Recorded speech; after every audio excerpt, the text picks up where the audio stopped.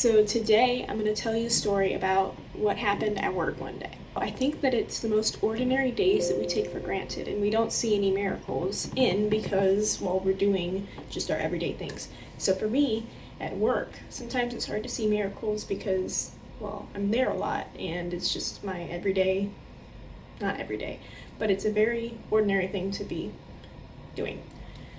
So, um, one of my friends at work um, was telling me about the struggle that she was going through.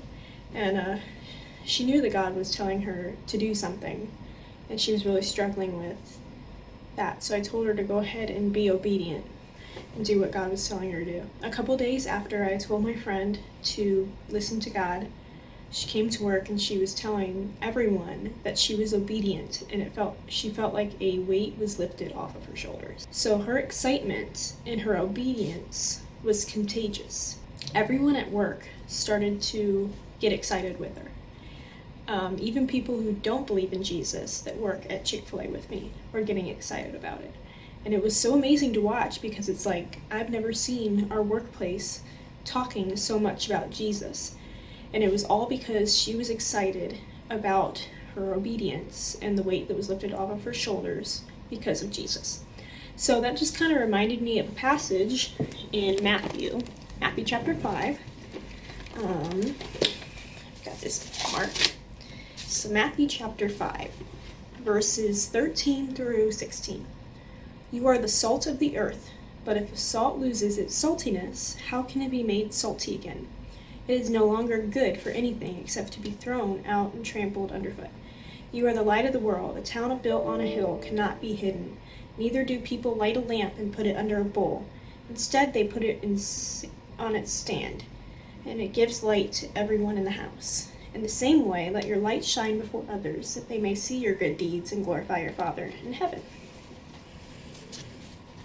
I couldn't help but think about that because she was so excited about what God had done, what Jesus had done, and it was shining before everyone.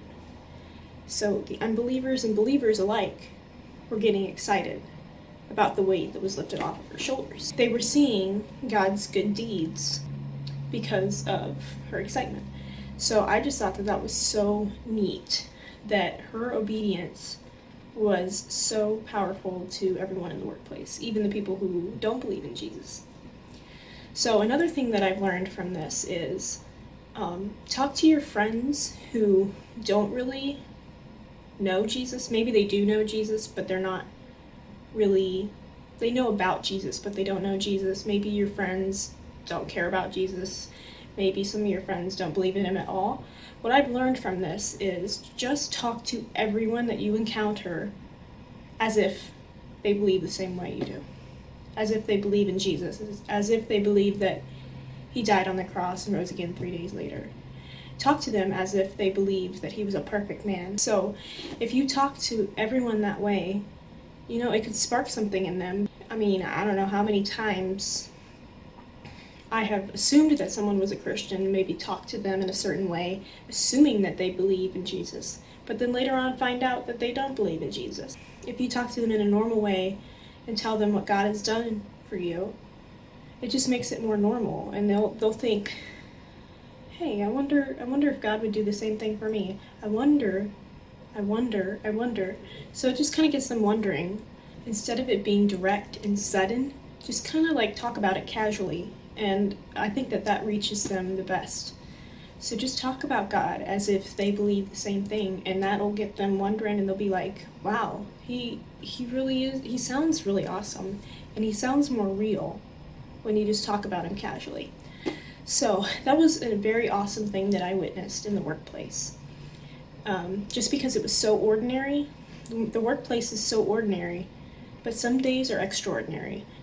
You got to be looking for those kinds of situations, those kind of those kinds of conversations, those kinds of that kind of excitement. Don't take it for granted. Soak it up because that is God working in the workplace. I hope you guys enjoyed this video, and I'll see you guys in the next one.